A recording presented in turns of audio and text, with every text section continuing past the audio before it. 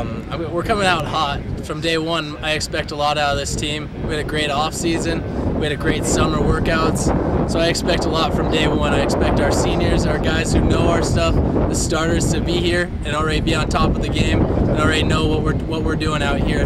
The freshmen will will catch them up quick, but I expect us to be ahead of the game. We've always had a strong defense. I think we're going to carry that along again this year. We got a lot of seniors coming back. Going to play physical. We got a lot of players that can play physical. We play tough, hard-nosed football.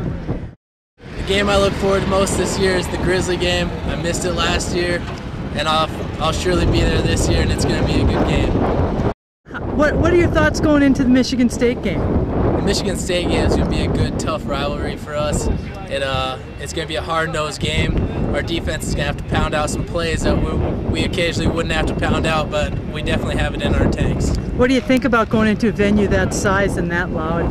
You know, we've always came into big stadiums and big crowds in these other games in the past, and we've always put up pretty good numbers on defense. And I expect nothing less than that again this year. I expect to come out with a W, though.